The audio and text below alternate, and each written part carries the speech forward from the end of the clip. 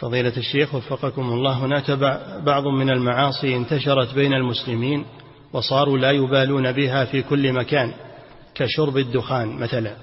فهل يتعين على أفراد المسلمين الإنكار لمثل هذا المنكر أم أنه يترك لكثرته؟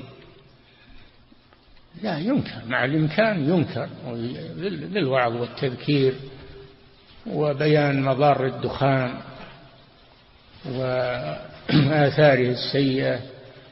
وضح لهم هذا. وإذا لم يقبلوا ولم لا تجلس معهم ابتعد عنهم. لا تجالسهم. نعم.